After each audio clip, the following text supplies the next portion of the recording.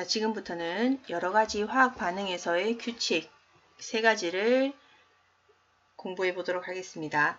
자, 먼저 질량 보존 법칙이라는 것을 배울 텐데요. 일단 질량 보존 법칙이 뭘까요? 일단 말에서 어떤 의미를 가지고 있는지 한번 유추를 좀 해보시고요. 그거 얘기하기 전에 우리가 실험을 한번 보도록 합시다.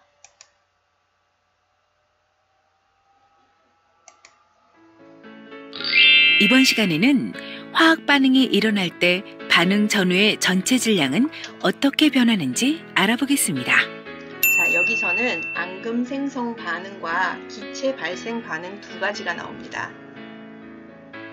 먼저 앙금 생성 반응입니다.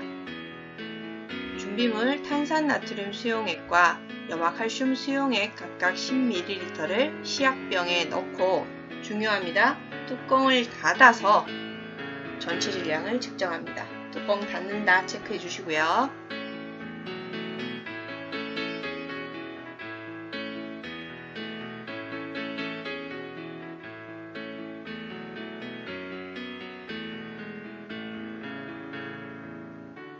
자, 그 다음에 뚜껑을 열어서 이제 가수용액을 시약병 나에 부어서 반응을 시킵니다. 자, 지금 앙금 생성 반응인 거, 하얀 앙금 생성되는 거 보이죠? 자, 여기서 주의할 거는 용액을 섞을 때 시약병 바깥으로 튀거나 흐르지 않도록 주의합니다. 자, 장갑 끼고 있는 거 보이죠? 손에 묻었을 경우에 즉시 씻어내도록 합니다. 자, 반응 전과 반응 후 324.28로 질량이 같은 걸 알 수 있습니다. 자, 두 번째 기체 발생 반응이고요. 탄산수소 나트륨 0.5g을 지금 전자저울로 재고 있습니다. 종이를 깔고 약포지를 깔고 재고 있고요. 페트병에 넣기 위해서 말아서 집어넣고 있습니다. 시험관에 식초 10ml를 담아서 페트병에 넣습니다. 섞이지 않게 쏟아지지 않도록 조심해서 넣고 질량을 측정합니다.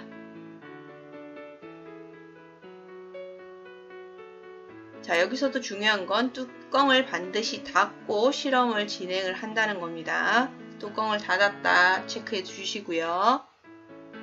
자, 그래서 기울여서 식초와 탄산수소 나트륨 반응을 시키고 그러면 이제 기체가 발생할 겁니다. 그러면 더 이상 반응이 진행이 되지 않을 때 전체 질량을 측정을 해봅니다. 자, 그랬을 때 질량을 측정했더니 반응 전과 후 모두 38.79로 질량이 같았습니다. 자, 그래서 거기 27페이지, 27페이지의 정, 위에 앙금 생성 반응 정리 2번 하고 그 다음에 기체 발생 반응의 정리 2번에 보면 질문이 반응 전후의 전체 질량은 어떻게 되는가 그 까닭을 설명해 보자 라고 되어 있는데 자, 요 답은 같습니다. 자, 여기 지금 보면 왜 전체 질량이 같을까요? 자, 일단 여기서 뚜껑을 닫고 실험을 진행을 했습니다. 그러면 뭐 빠져나가는 기체의 양도 없고요. 그 다음 앙금 생성 반응에서도 가라앉 앉았을 때 떠내, 뭐 반응 후에 떠내거나 하는 양도 없었죠. 그러면 결국은 그 안에서의 물질이, 아, 물질이 그 병, 페트병이나 시약병 안에서만 반응을 했다는 걸 의미합니다. 그러니 결국은 앙금 생성 반응이나 기체 생성 반응에서, 자, 정리합시다.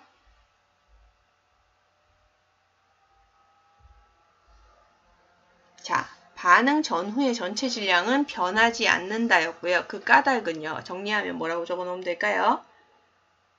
자, 원자의 배열이 변해서 새로운 물질이 생성이 되어도 자, 결론은 뭐? 원자의 종류와 개수는 변하지 않기 때문에 다시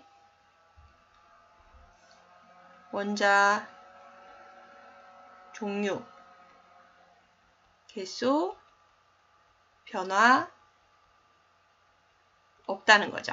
자, 그래서 이렇게 정리를 해 놓으면 되겠습니다. 자, 그러면 이제 요 말이랑 우리 질량 보존 법칙, 요 질량 보존 법칙이라는 말이랑 한번 유추를 해 봅시다. 질량 보존이 뭘까요? 질량, 물질의 질량을 의미하고요. 보존은요. 말 그대로 보존된다는 겁니다. 그러면 여기에서 화학 반응의 규칙에서 질량 보존 법칙이 나왔습니다. 그러면 여기서 질량 보존 법칙이란 어떻게 정리하면 될까요? 자, 28페이지로 한번 가봅시다. 자, 28페이지에 자, 내용이 나오는데요. 자, 화학 반응이 일어날 때 우리 아까 정리했죠. 물질을 이루는 원자나 이온은 자, 원자나 이온은 배열만 달라집니다. 배열만 달라질 뿐 새롭게 생기거나 없어지지 않는다라고 되어 있습니다. 그러니 결국은 반응 일어난 후에도 전체 질량은 달라지지 않는다라는 거. 그래서 우리 앞에서 얘기했던 아까 탄산, 나트륨 수용액, 염화, 칼슘 수용액. 자, 요거랑 반응을 하면 자, 우리 반응식 한번 정리해 볼까요? 자, 요거 두 개 반응하면 우리 자, 나중에 반응식 정리한 거 선생님이 과학 밴드에다 한번 올려 놓겠습니다. 자, 그거 보고 나중에 반응식 연습을 한번 해 보도록 하고요. 자, 이때 발, 발생한 앙금은 뭐지? 탄산칼슘입니다. 그죠? 그래서 앙금이 생성돼서 가라앉아도 결국은 반응 전과 후의 질량은 변화하지 않는다라는 거. 자, 그거, 이것을 우리가 뭐라 한다? 질량 보존 법칙이라고 합니다. 다시 한번 정리합니다. 질량 보존 법칙이란 반응 전과 후 물질 전체의 질량은 변하지 않는다라는 법칙을 질량 보존 법칙이라고 합니다. 이유는요. 원자의 종류와 개수가 변하지 않기 때문입니다. 자, 그거를 우리가 한번 체크를 합시다. 자, 뭐 참고로 알아두세요. 참고가 아니라 기억을 해두는 게 좋을까요? 자, 이거 질량 보존 법칙 누가 발표했다? 라부아지에라는 화학자가 1772년 프랑스의 화학자입니다. 자, 이 사람이 질량 보존 법칙을 발표 했습니다. 자, 그랬을 때 그러면 이 질량 보존 법칙, 즉 반응 전과 후의 물질 전체 질량이 변하지 않는다는 법칙인데 그 법칙이 성립하는 까닭이 무엇일까요? 자, 우리 설명은 했는데 한번 보도록 합시다. 지금 메탄올의 연소 반응을 입자 모형으로 나타내었다라고 했습니다. 자 그러면 우리 요거 가지고 한번 비교를 좀 해보도록 합시다. 자 여기에 우리 보면요. 메탄올 지금 탄소는 까만색으로 그 다음에 산소는 빨간색으로 수소는 이렇게 흰 입자로 표현을 했는데 앞뒤 개수 한번 비교를 해보면 질량 보존 법칙 설명을 할 수가 있을 겁니다. 자 앞에 몇 개입니까? 두 개고요 까만 거 뒤에는요 뒤에도 두 개네요. 산소는요. 좀 많은데 자 하나 둘 셋 넷 다섯 여섯 일곱 여덟 개. 그 다음 뒤에는 물에 하나 둘 셋 넷 이산화탄소에 하나 둘 셋 넷 여덟 개. 수소는요. 메탄올에 하나 둘 셋 넷 다섯 여섯 일곱 여덟 개. 자 뒤에는 물에 둘레 여섯 여덟 개. 자 그럼 비교해 봅시다. 자, 화학 반응에서 질량 보존 법칙이 성립하는 까닭을 입자 모형과 관련지어 설명해 보자. 자, 앞에 적은 거 다시 한번 정리하면 되겠네요. 뭐라고 정리하면 될까요? 자, 원자의 종류와 개수가 변하지 않기 때문에 이렇게 정리를 하면 되겠죠. 자, 그래서 질량 보존 법칙이란 반응 전후의 물질 전체 질량이 변하지 않는다라는 법칙을 말하는데 이유는 결국 원자의 종류와 개수가 변하지 않기 때문입니다. 자, 그러면 모든 화학 반응에서 질량 보존 법칙이 성립할까요? 자, 그걸 한번 보도록 합시다. 자, 여기 지금 29페이지입니다. 우리 중요 표시 좀 해보도록 합시다. 자, 여기 지금 요 부분 좀 묶어주시고요. 요 부분 좀 묶어주세요. 자, 단락을 나눠서 우리가 좀 중요한 걸 좀 보도록 합시다. 자, 지금 여기 두 가지의 반응이 나옵니다. 첫 번째는요. 이 종이를 태우면 이산화탄소, 수증기 등 기체가 발생하고 기체들이 공기 중으로 날아가므로 반응 후에 질량이 감소한다 라고 되어 있습니다. 자, 이건 무슨 반응일까요? 기체 발생 반응입니다. 요 한 개를 지금 얘기를 해놨고요. 그냥 두 번째, 이와 달리 강철솜이라는 애를 태우면 강철솜이 공기 중의 산소랑 결합을 해서 산화철이 생성되므로 반응하면서 결합한 산소의 질량만큼 반응 후 질량이 증가한다 라고 되어 있습니다. 뭐 강철솜도 마찬가지고 그 다음에 금속 금속이 산소랑 결합하면 산화금속 뭐 산소랑 결합한 금속이라고 합시다. 자, 산화금속이 생성되면서 질량이 증가하게 됩니다. 자, 이렇게.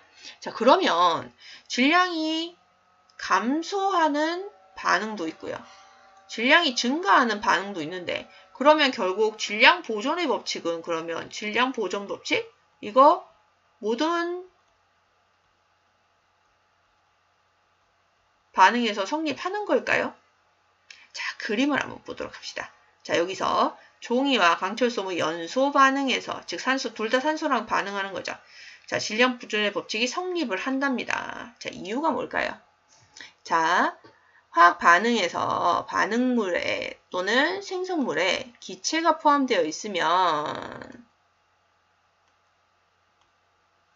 반응 후 전체 질량이 달라지는 것처럼 보입니다. 즉 질량이 감소하는 것처럼 또는 질량이 증가하는 것처럼 보입니다. 그러나 여기 지금 보면 공기 중으로 날아간 기체의 질량 어, 날아간 기체의 질량 그 다음에 결합한 산소의 질량 어차피 산소가 반응을 했기 때문에 그것까지 모두 고려하게 되면 결국은 전체 질량, 반응이 일어날 때 전체 질량은 변하지 않는다라는 겁니다.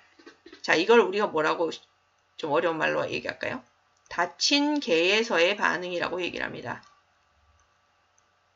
자, 그래서 여기 지금 막아놨죠, 이렇게. 그래서 전체적으로 이 전체적인 큰 공간에서 봤을 때는 기체가 발생해서 뭐 날아간다, 또는 결합해서 붙는다 하더라도 이 안에서는 결국은 전체 질량은 변하지 않는다라는 개념이라고 생각을 하면 됩니다. 그럼 여기서 우리가 주의할 것은 반드시 질량 보존 법칙, 질량 변하지 않는다라고 얘기를 하려면 아까 선생님이 좀 중요 표시하라고 얘기했는데 뚜껑이 어, 뚜껑을 닫, 닫는다 라는 표현이 있어야 되고요. 예를 들어서 뚜껑을 열어놨다.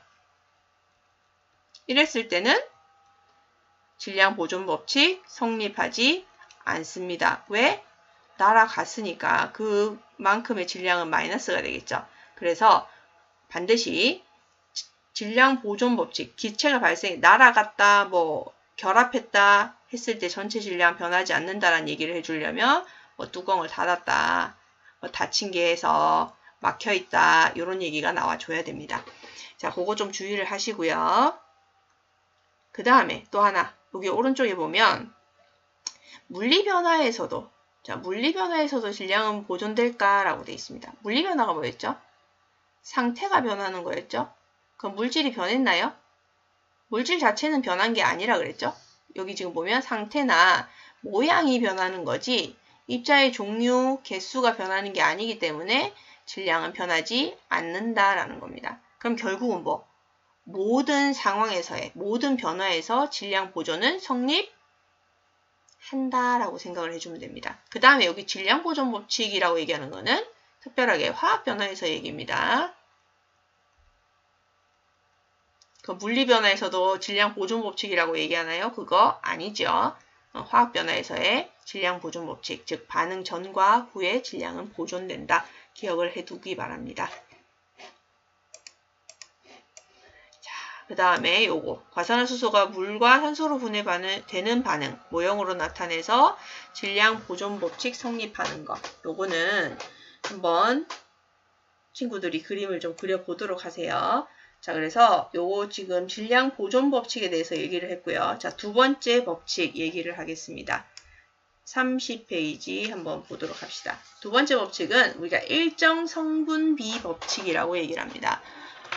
자, 항상 과학 시간에 새로운 용어가 나오면 이 말이 무슨 말인지 한번 유추를 하고 시작을 해보세요. 일정 성분 비. 일정하다. 그죠? 그 다음에 성분이. 그런데 그 비율이 일정하다. 말 그대로입니다. 화학 반응을 할 때 물질이 어, 반응을 하는데 그 성분의 비율이 일정하게 결합한다. 그러면 이제 이 말을 어떻게 풀어내면 될까? 요걸 한번 보도록 합시다. 자, 여기 장난감 조립하는 걸로 비유를 해놨는데 한번 짠! 이렇게 하면 자동차가 완성되는 거지. 나도 자동차 형과 조립. 똑같은 자동차를 만들어 봐야지. 손과 똑같은 자동차를 어, 만들려면 바퀴가 모자라서 똑같은 자동차를 바퀴의 만들 개수도 수가 똑같아야 없네. 거고, 장난감을 조립하는 것처럼 화합물이 만들어진다면 구성 원소 사이에는 그러면 어떤 관계가 원소 성립할까? 사이에서는 개수 B가 일정해야만 완벽한 또는 완성된 생성물이 만들어진다라는 얘기를 할 수 있어야 될 겁니다. 자, 해보기를 보면서 우리 한번 다시 한번 정리를 해보도록 합시다. 자, 여기 지금 보면 물 분자를 한번 만들어 보자 이건데 자 흰색 공 10개에 각각 숫자 1을 쓰고 빨간 공 10개에다가 숫자 16을 쓰재요. 자 그러면서 여기 지금 도움말이라고 되어 있는데 요거 조금 기억을 해두세요. 자 흰색 공은 수소 원자를 지금 표현하고 빨간색 공은 산소 원자를 나타내는데 각각 1, 16 요거는 수소와 산소 원자의 상대적 질량이라고 얘기를 했습니다. 요걸 나중에 우리 고등학교 가면 원자량이라고 얘기를 하는데 원자량 자 결국은 이 원자들의 상대적인 질량이 일정하게 정해져 있기 때문에 어, 정해져 있고 그 다음에 물 분자 화학식은 어떻게 되죠? H2O죠. 그럼 이렇게 결합하는 개수의 비율이 결국 2대 1로 정해져 있습니다. 그러니 결국은 결합하는 개수의 비율이 정해져 있으니까 거기에 해당하는 질량의 비율도 일정하다. 그게 일정 성분비 법칙입니다. 자, 우리 예시로 한번 정리를 좀 해보도록 합시다. 자, 이, 이 일정 성분비 법칙은 누가 얘기를 했느냐면요. 이 프루스트라는 사람이 얘기를 했습니다. 이것, 이 사람도 프랑스 과학자고요.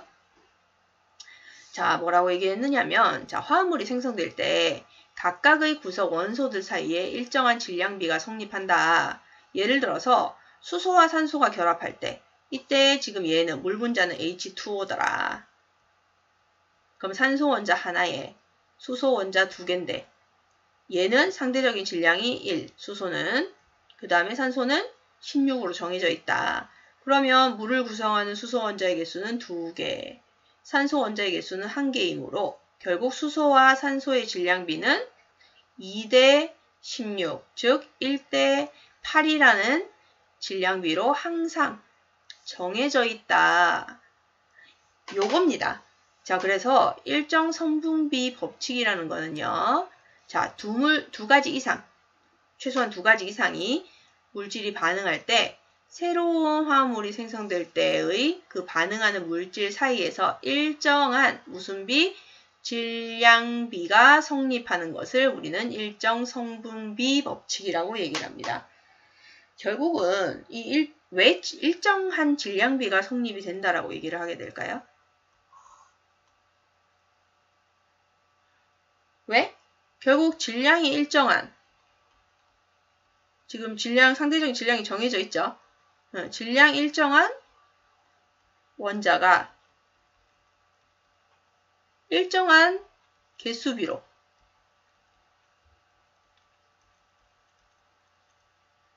결합하기 때문에 그렇더라 라는 거.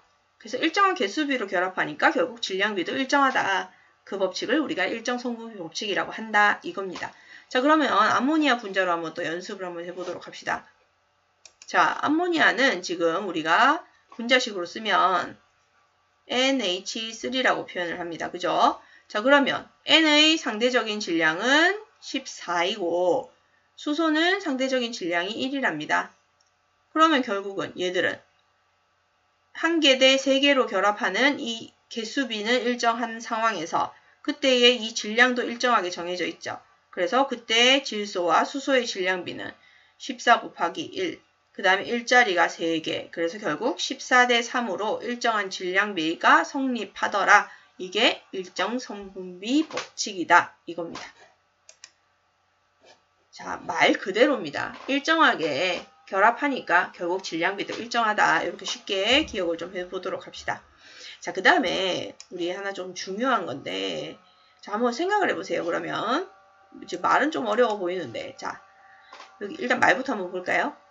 자, 화합물이 생성될 때 반응하는 물질이 단순히 섞이는 것이 아니라 화합물이 생성될 때 반응하는 물질이 단순히 섞이는 것이 아니라 일정한 비율로 결합하는 것이므로 반응물 중 양이 자, 적은 것에 의해 생성물의 양이 제한된다. 이게 무슨 말일까요? 예를 들어서 자 16짜리가 요 지금 산소 16짜리가 산소가 10개가 있고 수소가 원자가 10개가 있습니다. 그럼 최종적으로 얘는 물 분자가 몇 개가 생성이 될까요? 자, 물 분자 H2O 인데 하나의 분자를 생성을 하려면 수소는 두 개가 있어야 되고 산소는 하나가 있어야 됩니다. 그러면 얘는 하나의 분자를 생성하려면 두 개가 있어야 되는데 그럼 최종 다섯 세트까지 만들 수 있고 산소는 한, 한 번에 하나가 필요하니까 그럼 다섯 개까지는 세트를 구성할 수 있지만 나머지 다섯 개는 남는다 하더라도 결국 수소가 없기 때문에 얘들은 결합을 할 수가 없죠. 그럼 결국은 이 얘기입니다. 반응 비율이 2대 1로 정해져 있기 때문에 결국은 적은 애가 적은 애가 개수를 결정한다. 이 개념입니다. 자, 그 말이고요. 그래서 어려운 말은 아니고 그래서 결국은 적은 애를 기준으로 해서 몇 세트까지 만들어지느냐 그렇게 계산하면 된다. 뭐 그런 얘기입니다. 자, 그래서 그거를 지금 밑에 보면요. 자, 그래프는 같은 농도의 질산납 수용액 6ml와 반응하는 아이오딘화 칼륨 수용액의 양을 증가시킬 때 생성된 아이오딘화 납 앙금의 높이를 나타낸 것이다. 앙금의 높이가 계속 높아지지 않고 일정해지는 까닭이 무엇일까요? 라고 물었습니다. 왜 그럴까요? 자, 질산납 수용액 6ml가 자, 질산납 수용액 6ml가 결국 다 반응하게 되면 뭐? 음, 자 지금 다시요. 질산납 수용액 6ml가 모두 반응하게 되면 아무리 아이오딘화 칼륨 수용액이 더 많아진다 하더라도 얘는 지금 반응을 다 했기 때문에 더 이상 반응할 수가 없겠죠. 그러면 결국 생성되는 앙금은요. 최대한 만들어지고 나서 그 다음부터는 더 이상 만들어지지 않고 유지된다. 그 개념입니다. 자, 그래서 정리하면 뭐? 음, 모두 여기서 얘기하면 나비온이 음, 질산납 중에 나비온이 모두 반응에 참여해서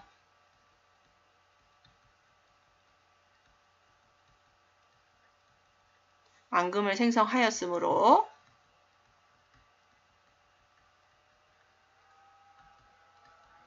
했으므로 어, 또 지워졌네. 자, 다시 한번 그럼 말로 할게요. 자, 납 이온이 앙금을 모두 생성하였으므로 납 이온이 모두 앙금을 생성하였으므로 아이오딘화 이온이 더 많이 늘어난다 하더라도 더 이상 앙금을 생성할 수가 없다. 이렇게 정리를 하면 되겠습니다.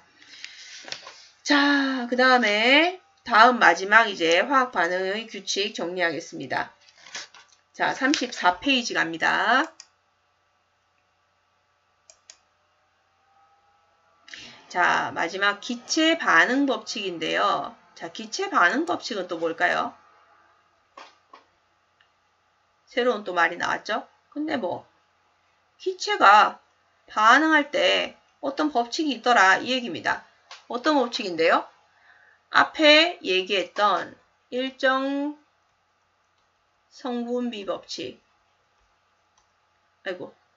자, 기체가 반응할 때 우리 앞에서 어떤 반응, 법칙 얘기했죠? 질량 보존 법칙. 그 다음에 일정 성분비 법칙. 그 다음에 요 기체 반응 법칙 나왔죠. 자, 그럼 이 기체 반응 법칙은 뭐냐? 쉽게 얘기하면 이 기체들이 반응물도 기체고 생성물도 기체일 때 그때 질량 보존 법칙도 성립하고 일정 성분비 법칙도 성립하더라. 모든 반응은 성립을 하는데 그때 질량만 얘기하는 게 아니라 기체이기 때문에 기체이기 때문에 부피 부피도 일정하게 성립하더라. 그 얘기를 해주는 게 기체 반응 법칙입니다. 쉽게 얘기하면 자 그래서 요거를 한번 우리 해보기 보면서 연습을 해서 그 기체 반응 법칙 개념을 한번 잡아보도록 합시다.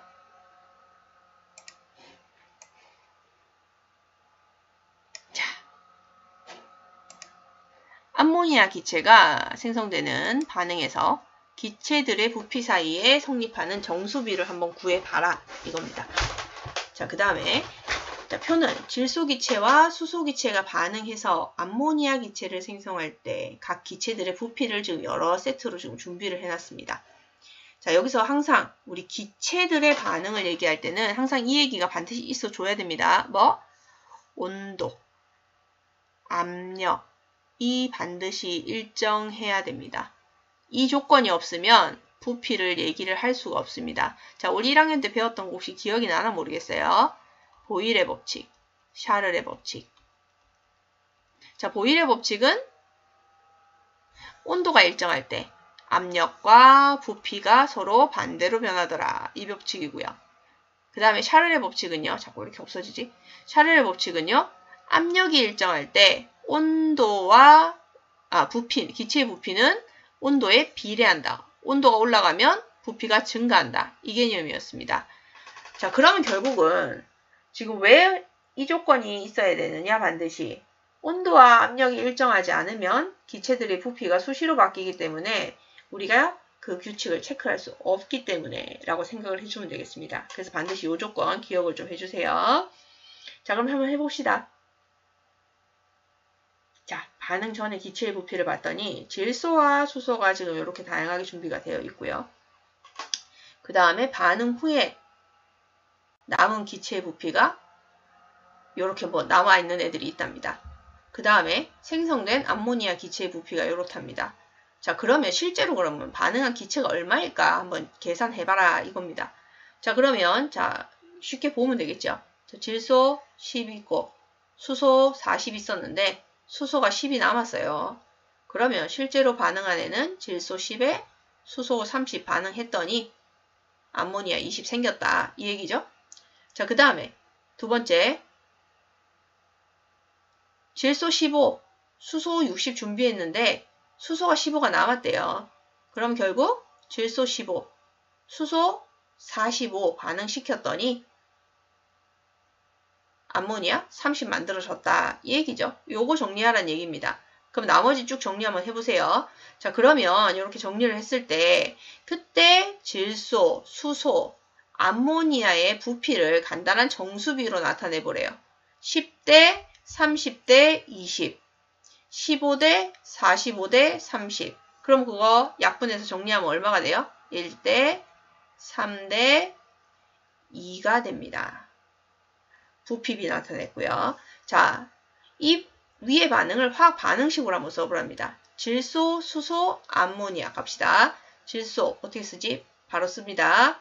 N2 수소는요 H2 암모니아는요 NH3입니다. 자, 개수 맞춰봅시다. 두 개인데 뒤에 하나네. 그러면 2 써주고. 근데 수소 두 개인데 뒤에는 2, 3은 6. 여섯 개네요. 그러면 3. 자, 개수비. 개수비 구했더니 어떻게 됩니까?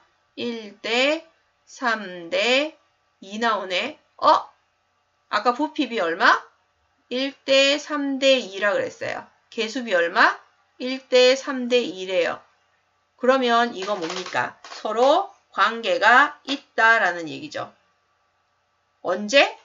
온도와 압력이 일정할 때 반응물과 생성물이 모두 기체라면 자 다시 온도와 압력이 일정할 때 반응물도 기체고 생성물도 기체라면 반응할 때의 개수비는 반응의 부피비와 같다. 이게 뭐라고요? 기체 반응의 법칙이라는 겁니다. 자, 다시 한번 책 보고 정리합시다. 35페이지입니다.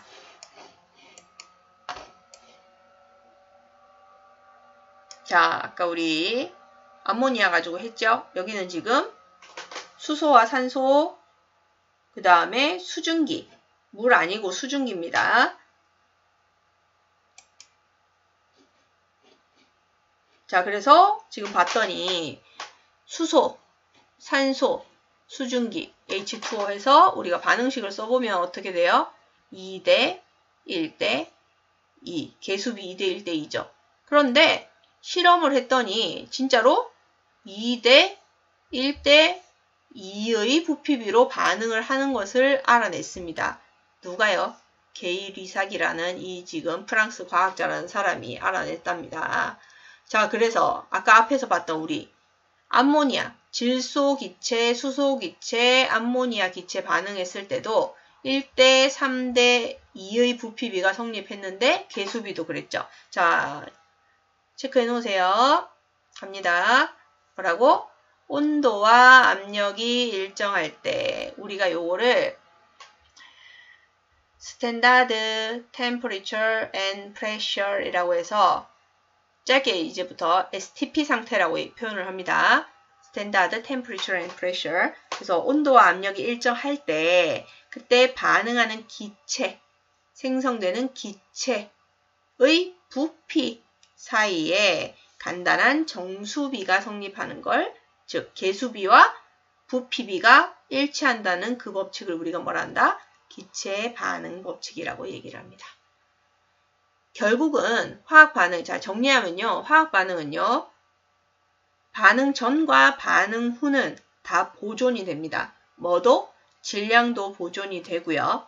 그러면 그 다음에 입자들이 일정한 비율로 결합하기 때문에 결국 질량 B도 정해져 있습니다. 그걸 우리가 일정 성분비 법칙이라고 얘기를 하고요. 그 다음 반응물과 생성물이 모두 기체라면 결국은 반응에서의 부피 B도 온도와 압력이 일정한 상황이라면 부피 B도 정해진다. 일정하게 유지된다. 그래서 그 세 가지 법칙 질량 보존의 법칙, 일정 성분비 법칙, 기체 반응의 법칙. 결국은 다 보존되고 일정한 규칙이 유지되고 일정한 비율이 성립한다. 이 반응이 어, 이 규칙입니다. 자, 이렇게 해서 결국은 그러면 여러 가지 화학 반응을 봤을 때 이 세 가지 규칙은 거의 다 성립하는 상황이라고 얘기를 해주면 됩니다. 자, 근데 중요한 거는 뭐? 질량 보존 법칙과 일정 성분비 법칙은 어떤 반응에서라도 닫혀 있는 상황이라면, 막혀 있는 상황이라면 유지가 되지만, 어, 성립이 되지만, 기체 반응 법칙은 반드시 반응물, 생성물이 모두 기체여야 합니다. 모두 기체. 예를 들어서 수소 기체랑 산소 기체가 반응해서 물이 생성된다. 그렇게 되면 물은 액체 상태죠. 그랬을 때는 기체 반응 법칙을 얘기할 수가 없다라는 거. 그거 주의를 하시고요. 자, 그 다음에 그러면 지금 기체 반응 법칙은 우리가 일정한 부피 사이에 간단한 정수비가 성립한다. 여기 지금 부피 안에 보니까 입자의 수가 지금 각각 한 분자씩 들어있는데 그러면 이걸 어떻게 하는데 일정한 부피비가 그 입자수의 비율이랑 같다는 걸 어떻게 하는데 자 그래서 사실은 이 기체 반응 법칙을 얘기하려면 관련된 하나의 법칙을 같이 얘기를 좀 해줘야 됩니다.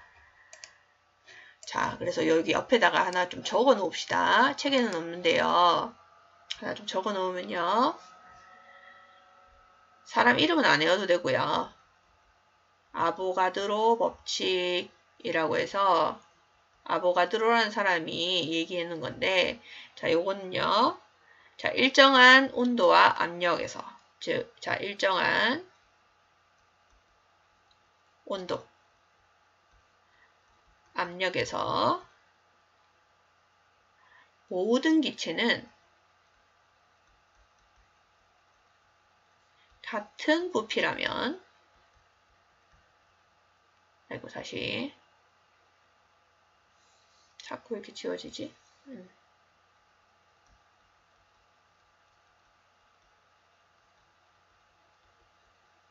자 다시요 일정 압력 온도에서 모든 기체는 종류 상관없습니다. 같은 부피에서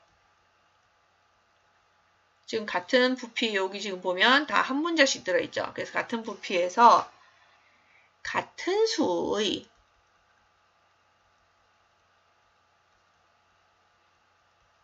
분자를 갖는다.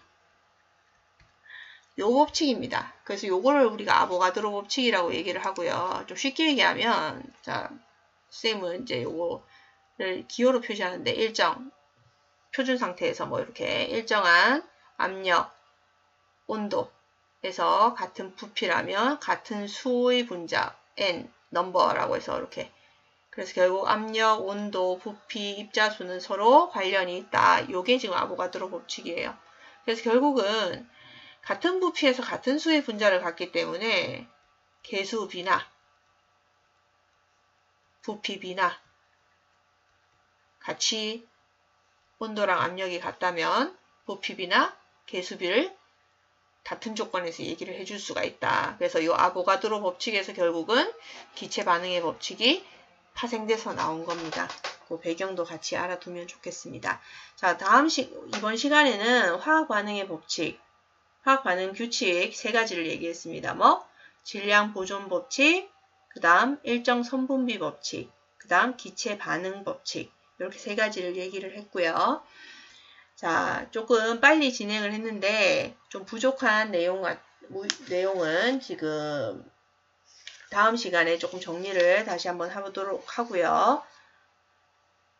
그 다음에 시간이 모자라서 조금 부족한 거는 과학밴드에다가 선생님이 어, 추가로 강의 내용 올려놓도록 하겠습니다. 자, 오늘은 여기까지 하고 다음은 반응, 다음 시간에는 반응의 에너지 출입에 대해서 정리를 하도록 하겠습니다. 자, 수고했습니다.